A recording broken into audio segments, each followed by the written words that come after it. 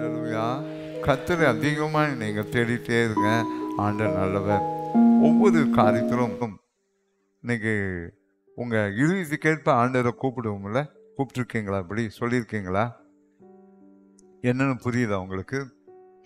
உங்கள் தேவைகளுக்கு ஏற்ப உங்களுக்கு செய்த காரியங்களை வைத்து ஆண்டர் எனக்கு இப்படி செய்தார் என்று சொல்லி கத்தரை துதிப்போம் ஆண்டர் நான் மட்டும் மகிழப்பட்டோம் எல்லா பிள்ளைகளும் நல்லா இருக்க போகிறீங்க ஆண்ட சுமத்துல முழு மனதாக உள்ளே போயிட்டே இருங்க. ஒரு கிருபை கத்தர் கொடுத்து கொண்டே வருவார். தேவன் நான் மட்டும் மகிமைப்பட்டு கொண்டே இருக்கும். இந்த நேரத்திலும் எல்லா விதங்களும் நீங்கள் பாருங்க. தேவனுக்கு பல பெயரிட்டு அழைத்த நாமங்கள் உண்டு. இன்னும் அந்த நாமங்களை சொல்லிட்டு வேதத்தில் கத்த நமக்கு செய்ய போகிற காரியங்களை உங்களுக்கு நான் செய்ய போகிறேன். ஆண்டு நல்லவர். எல்லா விதங்களும் கத்தர் உங்களுக்கு ஒரு விசேஷ கிருவியை கொடுத்து கொண்டே வருவார். குறை வைக்கவே மாட்டார். நல்ல விசுவாசத்தோடு பெற்றோர்களை ஜெபிங்க. உங்கள் பிள்ளைகளுக்கு நல்ல ரிசல்ட்டுகளும் கொடுப்பார். வாழ்க்கை அமைத்து கொடுப்பார். பெற்றோர் பெற்றோர்கள் ஜெபம் அதிகமாய் தேவை.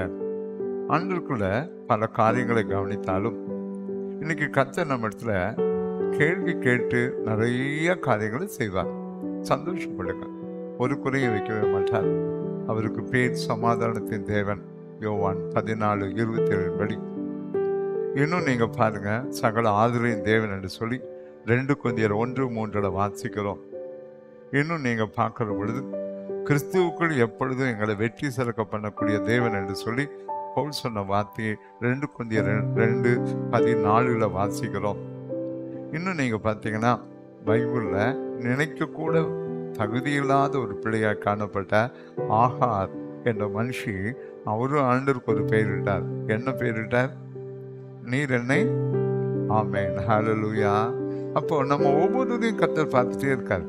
எல்லா காரியங்களையும் ஆண்டர் சமூகத்தில் கத்தருடைய நன்மையை பெற்றுக்கொண்டே இருப்போம். எல்லாரும் நல்லா இருப்பீங்க. ஆலயத்துக்கு உண்மையாய் கத்தரை தேடி வருகிற பிள்ளைகள் கட்டாயம் நல்லா தான் இருப்போம். ஏன்னா உங்களை காண்கிற ஒரு தேவன் இருக்கிறார். இந்த காரியங்களை அவர் கண்கள் நம்ம இறுதிகளை ஆராய்ந்து கொண்டே இருக்கும். நல்ல பலனை பெற்றுக்கொள்வோம். உங்களை பார்த்துட்டே இருப்பார் காரியங்களை செய்வார். இன்னும் நான் ஒரு சில பிள்ளைகளுக்காகவும் நான் ஜெபிக்கணும். சரீர பாடுகளோடு வர முடியாத பிள்ளைகள் காய் ஜெபிக்க போகிறோம். அந்த பிள்ளைகளும் கத்திர மகிழ்ப்பத்துட்டே இருக்கும். இன்னும் நீங்கள் பாருங்கள் லூக்கா ஒன்று முப்பத்தேழு. தேவனால் கூடாத காரியம் ஒன்றுமே இல்லைங்க. எல்லாம் செய்து கொடுப்பார். கத்தரை மகிழ்ப்படுத்தி கொண்டே இருக்கணும். ஆமேன். இன்னும் மத்திய பத்தொன்பது இருபத்தாறுலாம் எனக்கு இந்த பாசிட்டிவ் வசனத்தை கவனிச்சு பாருங்க. ஏன் வசனம் சொல்லப்பட்டிருக்கிறது என்று சொன்னால் ஆண்டு சொல்லுகிறார் என்னன்னா அவரால் என்ன என்ன ஆகும்?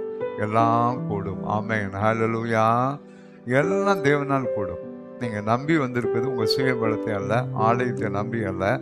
பரலோக தேவன் உங்கள் காரியங்கள் என்ன செய்வான்னு கேட்டிங்கன்னா எல்லாமே அவரால் கூடும். அவர் என்ன செய்வான்னு கேட்டிங்கன்னா இன்னைக்கு அநேக வாழ்க்கையில் கூட ஜெபிக்கிறப்ப சொன்னார் மீகா ஏழு பதினஞ்சு. என்னது? உன்னை அதிசயம் காண பண்ணுவேன் அவ்வளோதான் போயிட்டே இருங்க. இந்த பிள்ளைகளுக்கெல்லாம் ஜெபிச்சிருக்கேன் அவஞ்சலுக்கெல்லாம் இவங்க படுகிற கஷ்டம் வேலையில் அலைச்சலை பார்த்தோம். எல்லாம் நினைத்தோம் பத்திரிக்கைகள் எழுதியிருக்கோம். ஏன்னு கேட்டால் தெய்வ பிள்ளைகள் உபத்திரவத்தில் கத்தர் சகாயம் பண்ணுகிறார். உங்களை மேன்மைப்படுத்துகிறப்போ கத்தர் நல்ல மேன்மையாக நீங்கள் வந்துருங்க. ஆண்டு இந்த பலனை கொடுத்துட்டே வருவார். எல்லா விதங்களும் நம்ம வாழ்க்கையை ஆச்சரித்து கொண்டே இருப்பார். எந்த காரியத்தையும் எனக்கு இப்படி ஒரு பாண்டேஜ் சிறையிருப்புன்னு சொல்லவே வேண்டாம். காரணம் இந்த மாதம் கத்தர் ஒரு பெரிய ஜெயத்தை கொடுத்து உங்கள் வாழ்க்கையில் பாருங்க ஒரு நன்மையை கத்தர் செய்து தருவார் என்ன கேட்டால் உங்கள் சிறையிருப்பை திருப்புவேன் என்று கத்தர் வாக்கு கொடுத்த தேவன் இந்த அருமையான நாளில் செய்கிறார். அடுத்த காரியம் சந்தோஷமா இருங்க. எப்பவுமே கத்தருக்குள்ள எப்படி இருக்கணும்? சொல்லுங்க.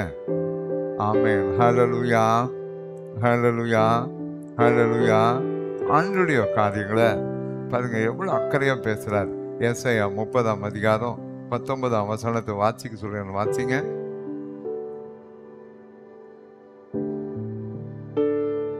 ஆ, இனி நீ இனி நீ என்ன செய்யல அழுது கொண்டுறாய் நீங்கள் வாழ்க்கையில் என்னதான் ப்ராக்டிக்கலுங்க சில நேரம் நான் பட்ட கஷ்டங்கள் சந்தித்த போராட்டம் பயங்கரமா இருக்கும்.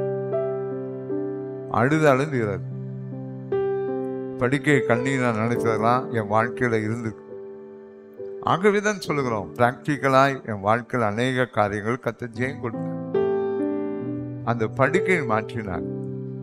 அந்த சமயத்தில் ஊழியத்தின் பாதியில் ஒரு முறை தூத்துக்குடி சென்று நான் திரும்பி வந்து கொண்டிருக்கிறேன். வர்ற வழியிலேயே சத்துரு பேசுகிறான் வாழ்க்கை வாழ்க்கையை வைக்க போகிறேன் ஏன்னா அங்கே நிறைய பேர் அபிஷேகம் பெற்றாங்க. நிறைய பிள்ளைகள் விடுதலை பெற்றாங்க. அந்த காரியங்களை சொல்கிறப்போ இத்தனை பேர் இத்தனை காரியம் செய்த இன்னைக்கு நிறைய பேர் என் கையிலிருந்து பதிச்சுட்டேன். நான் ஒன்றும் விட மாட்டேன். உன்னை கண்ணீர் வடிக்க வைப்பேன். சொல்லி. உடனே பயம். பஸ்ஸில் தான் ட்ராவல் பண்ணோம். பஸ்ஸில் தான் திரும்பி வந்து வீட்டுக்கு வர்ற நேரங்களில் நீங்கள் பார்த்தீங்கன்னா அப்படிப்பட்ட ஒரு பெரிய போராட்டமான காரியம் நடக்கும் என்று எதிர்பார்த்து வர்றோம். வர்ற நேரத்தில் அந்த காரியங்களை அதுக்கு முன்னாடி எல்லாரும் ஓடி வர்றாங்க. சில சம்பவங்களை சொல்கிறாங்க உடனே நான் என்ன செய்தேன்? அடணும்னு சொல்லி போகிறப்போ ஆண்டு என்ன செய்தான்னு பார்த்தீங்கன்னா நீ அழக்கூடாதுன்னு சொல்லிட்டேன் நீ படு பேசாமல் படு. நான் காரியத்தை நான் பார்த்துக்கிறேன் ஆண்டு பாருங்க ரொம்ப அழகாக பொருட்படுத்த அந்த காரியங்களை மாற்றினார். எதுக்கு நான் சொல்கிறேன்னா இன்னைக்கு கத்த ஒவ்வொரு காரியத்துக்கும் நீங்க பார்க்குறீங்க எல்லா விதத்திலும் ஒரு காரியம் தேவை. இன்னைக்கு தேவை ஒரு கல்யாணம் ஆகணும்னா நம்ம ஜெபிக்கிறோம். ஒரு குழந்தை பிறக்கணும்னா ஜெபிக்கிறோம். ஒரு வேலை வேணும்னா ஜெபிக்கிறோம். ஒரு ஆசீர்வாதம் வேணும்னா ஜெபிக்கிறோம். என்ன வேணும்னு சொல்லி ஜெபிப்போம்? அப்படி சொல்லிட்டோம். என்ன வேணும்னு சொல்லி ஜெபிப்போம்? உங்க என்ன நடக்கணும்னு சொல்லி விரும்புவீங்க? என்ன விரும்புவோம்? ஆ? எல்லாம் சொல்லிட்டோம். உங்க படிப்பு உங்க வாழ்க்கை உங்க ஓட்டம் திருமண காரியம் எல்லாவற்றிலும் ஆண்டு சுமத்தில் கேட்போம். என்ன கேட்போம்? என்ன கேட்போம்? எங்களுக்கு என்ன செய்யணும்? ஆ? என்ன வேணும்? ஜெயம் கொடுங்க. ஆமே இதுதான் வாக்கு சுத்தம் நம்முடைய ஆண்டவர் நமக்கு ஜெயம் கொடுக்கிற தேவனாக இருக்கிறார். ஒன்று குதியல் பதினைந்தாம் அதிகாரம் ஐம்பத்தி ஏழாம் வசனத்தில்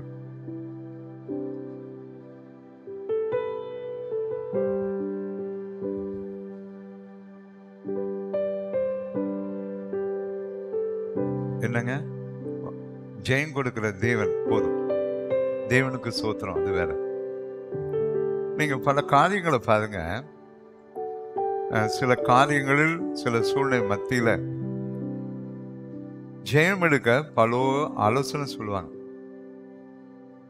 நீங்களாம் பார்த்தீங்கன்னா என்ன காரியம்னா விடாமுயற்சி வெற்றிக்கு வழி பல காரியங்கள் உண்டு. இப்படி செஞ்சா இப்படி நடக்கும்னு சொல்லி உலகத்தில் சொல்லுவாங்க பிரயாசப்படுங்க. ஆனால் ஒரே ஒரு காரியத்தை கிறிஸ்துவ பிள்ளைகளாக நானும் நீங்களும் சொல்கிற காரியம் என்னன்னு கேட்டிங்கன்னா கத்தரை நம்புங்க அவரெல்லாம் செய்து கொடுத்தார் அவ்வளோதான் ஒரே வார்த்தை தான் தேவனால் கூடாத காரியம் இதை நம்ம சொல்லவே கூடாது சொல்லவே மாட்டோம். உலகத்தில் ஆயிரம் ஐ- ஐடியா இருக்கு. அதனால படிக்க வேண்டாம் பிரயாசப்பட வேண்டாம்னு சொல்லலை. அதிலுமே நம்பிக்கை இல்லாதபடி கத்தின் நம்பிக்கை இருங்க. அதான் நம்ம வாழ்க்கையில் பிரதானம். தேவனை நம்புங்க. கத்தரை நம்புங்க. நம்ம சபையில் தான் இருக்காங்க. அவங்கள பற்றியெல்லாம் எழுதியிருக்கேன். எல்லாம் சபையார் தான். புத்திரிகள் எழுதியிருக்கேன். அவங்க பட்ட கஷ்டங்கள்லாம் பயங்கரமாக இருந்தது. நீங்கள் உங்கள் வாழ்க்கையில் ஒவ்வொரு மாதம் ஒரு சேஞ்ச் ஆஃப் லைஃப் வாழ்க்கையின் மாற்றம் ஆசீர்வாதத்துக்கு சொல்லணும். கரெக்டாக கொடுப்பார். உங்கள் காரியங்களை நீங்கள் பகிர்ந்து கூட நம்ம ஜெபிக்கலாம். ஆண்டு காரியங்களும் செய்வார். எல்லா விதங்களும் நீங்கள் பார்த்துட்டீங்கன்னா கையேந்தி கொண்டிருந்த ஒரு மனுஷன் அவர். கையேந்தி கொண்டிருந்தார் சபையில தான் வச்சு சொல்றேன். உதவி இல்லை. பல காரியங்களை பார்த்தீங்கன்னா பிள்ளைகளை நல்லா படிக்க வைக்கணும்.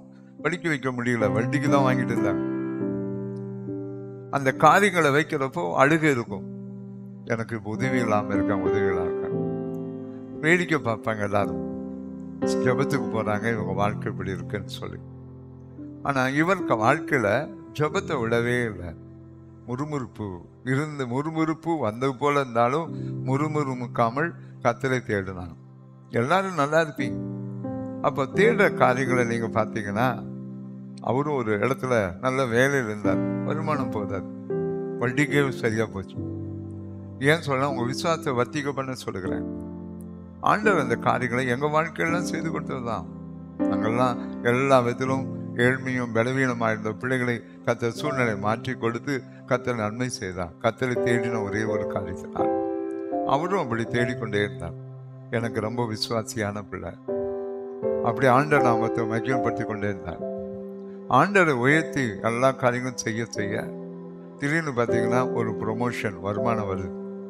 கடன் அந்த நெருக்கத்திலேருந்து விடுதலை வராங்க. இன்னும் நீங்கள் பார்த்துட்டீங்கன்னா அவங்களுடைய ஸ்கில் எல்லாம் பார்த்து உடனே அவங்களுக்கு வெளிநாட்டில் எங்களுக்கு வந்து ஹெல்ப் பண்ணுங்கன்னு கூப்பிட்டாங்க. வாழ்க்கையை மாறிடுச்சுங்க. தலைகீழ மாறி எல்லா காரியம் முதல் காரியம் நான் கடன் இல்லாமல் வட்டி இல்லாமல் இருக்குன்னு சொல்லி வட்டியெல்லாம் அடைச்சார். வீடு கட்டினார். சந்தோஷம் உண்டாயிட்டு பிள்ளைகள் வாழ்க்கையெல்லாம் நல்ல ஒரு மெலனோடு ஆசீர்வாதமாகவே முடித்து கொடுத்தார். ஏன் சொல்றேன்னா ஆண்ட சமூகத்தில் அவர் ஜெயம் கொடுக்கிற தேவன். சூழ்நிலை எல்லாம் மாத்திருவார். இது நடக்கலைன்னு கவலைப்படாதீங்க. அவரை சார்ந்து நில்லுங்க. எல்லா காத்திலும் ஜெயம் கொடுத்து கொடுத்து உங்களை உயர்த்தி கொண்டே வருவார். அவர் ஜீவித்தை சந்தோஷப்படுத்தினார். எனவே இந்த அருமையான நேரத்தில் அவரால் எல்லாமே கூடும். நல்லா பார்க்கிறோம் அவர் செல்லக்கூடிய காரியம் இன்னைக்கு சரீர சுகத்தை எதிர்பார்க்குறீங்க. எல்லா நன்மையும் எதிர்பார்க்குறீங்க. ஆண்டு செய்யக்கூடிய காரியம் என்னன்னு கேட்டிங்கன்னா நம்ம வாசித்து கொண்டே இருக்கிறோம். எளிமையாக இருபத்தி ஒன்பதாம் அதிகாரம் பதினோராம் வசனத்துல எல்லாருக்கும் தெரிந்த வசனம் தான் என்ன சொல்லுங்க பார்க்கலாம். நீ எதிர்பார்க்குற முடிவே கொடுப்பார் அப்ப நீங்க எதிர்பாருங்க எனக்கு இப்படி ஆகணும். இப்படி செய்து கொடுங்க. கத்து செய்வார். எல்லா காரியங்களும் எல்லா குடும்பங்களையும் அப்படிதான் தூக்கி விடுகிறார். பெற்றோர்கள் பிள்ளைகள் ஜெபிக்கணும். அதுல அதிகமாய் நான் சொல்றேன் நீங்க ஜெபிச்ச ஜெபத்துல பலனை எப்படியெல்லாம் கொடுத்துருக்கிறார்? இன்னும் கத்த அதில் அவர் சொல்கிற வார்த்தை பார்த்தீங்கன்னா உங்கள் பேர் நினைவேன் என்று கத்த சொல்லுகிறார். அது தீமைக்கல்ல. எப்படி? சமாதானத்துக்கு எதுவான நினைவுகளை. எல்லா வாழ்க்கையும் நல்லா இருக்கும். எல்லாரும் நல்லா தான் இருக்க போகிறோம் எனவே அந்த காரியங்களை நல்லா செய்யுங்க. காரணம் பிழைக்க வழியில் எதிர்காலம் என்னன்னு யோசிக்காதீங்க.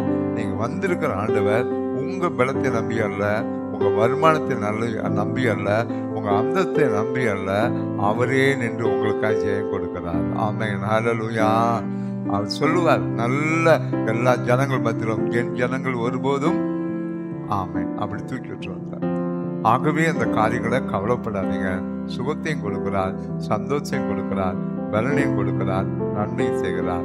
ஒரு சமூகத்தை நேரத்தில் நீங்கள் வாசித்தீங்கன்னா யோவான் ஐந்தாம் அதிகாரத்தில் அஞ்சுலேருந்து ஒன்பது வசனங்களை வாசித்து பாருங்க. அஞ்சாம் வசனத்தை வாசி பாருங்க. முப்பத்தெட்டு வருஷமா வியாதி கொண்ட ஒரு மனுஷன் அங்கே இருந்தான். ஆண்டு பாருங்க. படித்திருந்து அவனை இயேசு கண்டு அவன் வெகு காலமாக வியாதியசன் என்று அறிந்து அவனை நோக்கி என்ன கேட்கிறாரு? சொஸ்தமாக வேண்டும் என்று விரும்புகிறாயா? என்றார். இன்னைக்கு எல்லாரும் நல்லதானே விரும்பி வர்றோம்? அப்போ ஆண்டு வந்து இவன் விருப்பத்தை வந்து நிற- கேட்டு வாங்கி கொடுத்துட்டார். இன்னைக்கு உங்கள் விருப்பம் நிறைவேறும். நம்ம விருப்பம் என்ன? நம்ம பிள்ளைகள் நல்லா படிக்கணும் நம்ம நல்லா இருக்கணும். இன்னும் சுகவீனமாக இருக்கிற பிள்ளைகள் கவலையே படாதீங்க. கத்தர் ஜெயத்தை கொடுக்கிறார். ஆமேன். ஹலலுயா ஹலலுயா அவர் கேட்கிறார் முப்பத்தெட்டு வருஷமாக பிரச்சனை இருந்தது முற்றுப்புள்ளி. நீ சொச்சமாக்கி உன்னை வாழ்க்கையில் கத்தர் நன்மை செய்கிறார். எல்லா காரியங்களும் உலக பிரகாரமான பிள்ளைகள் ஓடி வந்து இந்த விடாமுயற்சிக்கு பல காரியங்கள் சொல்லலாம். பல பல ஆத்தர்ஸ் பல காரியங்களை எழுதிட்டே இருக்கலாம். ஆனால் கத்தர் ஒரே ஒரு வார்த்தை சொல்லுவார். என்ன சொல்லுவார்னா என்னை நம்பு. என்னை விசுவாசி.